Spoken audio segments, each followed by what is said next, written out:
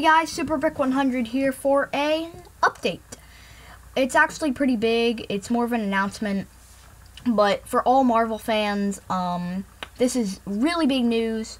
I'm postponing all of my Marvel stuff until I can finish all my DC stuff, meaning no Captain America for a while, no Spider-Boy, no Ultimates for a little while, no Iron Man.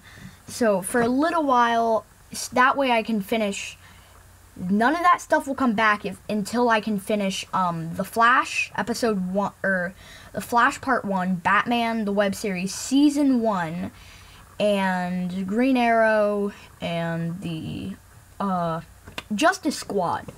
So yeah, I'm postponing all Marvel stuff until I can finish up uh, DC stuff. Yay. Okay, so as the video promised, now we're going to show off some two of the Batman props from future episodes. This prop is from season, uh, is actually from episode 6, and that'll be uploaded this week. So here is this prop. This is a soda bottle. This is like a door stopper. Uh, I don't even know what the handle was. And some power thing. I don't know what that is at all uh, nozzle at the end, all duct taped up, and it, I think it looks great. So this is the explosive gel prop. Okay, now on to the next prop. This is my Scarecrow mask. I made this from a base Iron Man mask. But I'm proud of this one. I wrapped it in bandage, got the two respirators on the side, and it has the eyes. This is what it looks like on a human's face.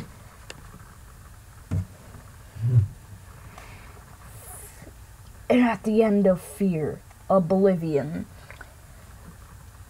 So Scarecrow shows up in episode 7, and you get the tiniest little glimpse of him. You barely get to see him at the very, very end of episode 6? Yeah, episode 6. And this weapon's used in episode 5. Uh, 5 and 6 will both be uploaded this week. But um, there is going to be a big gap, even though I both have them fully edited. There's a cliffhanger at the end of episode 5. So I really want to uh, build up suspense and make and separate those episodes. That way there's, like, actually suspense. Okay, so that is it for this update. So, just to recap, you have Marvel, DC, postponing Marvel, finish up DC. We have these two awesome props I made. And uh, make sure to comment, like, and subscribe. If I could get to 10 likes, that's kind of a small number, but then again, I only have 56 subscribers. Comment, like, and subscribe. If I could get 10 likes, that would be absolutely flippin' fantastic. But um, until next time, I'll see you guys later, and peace out. Bye.